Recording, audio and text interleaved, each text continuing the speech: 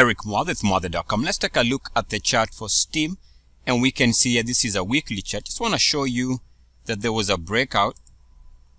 If you take the highs there on a weekly closing basis, would come and break out and this breakout actually took place as you can see at the beginning part of 2018 in fact the first week we've had a huge run up from the breakout here let's call it at about 350 to the current highs here of about nine dollars. Now why was this breakout successful? Number one we can see here that the RSI moved above 69.1 we can also see that the RSI went to all-time highs right there. And we can also see that the MACDs also went to new highs. So this is the reason why we've seen this explosion in Steem at the beginning part of 2018. Let's take a look at another example. And here we have Dogecoin. Now take a look at this breakout here. And again, we are looking at the weekly.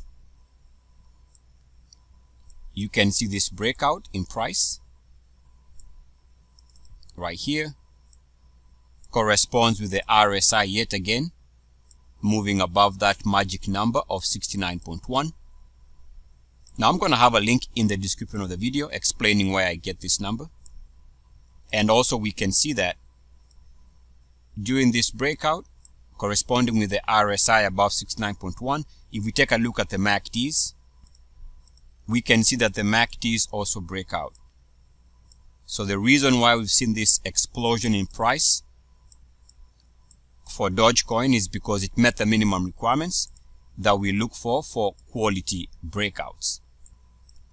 And this explains why we've seen this explosive price action over the last four weeks or so. Now, in the description of the video, I'm going to include a link to this playlist where I discuss this method, how to time momentum breakouts for cryptos, stocks, and any ICO, any instrument that might be trading in the market. So take a look at the link that I'll provide in the description of this video. And so I was setting the stage. I would like to highlight you to the idea that Verge versus the dollar could be a potential breakout down the road if and when it breaks out above the recent weekly closing high the level to watch there is 0.2464. So if it can break out above this price, and we can see that the RSI is already above 69.1, what we need here is a price breakout so one can set an alert. Anything above this price would be a bullish buy for momentum in my opinion.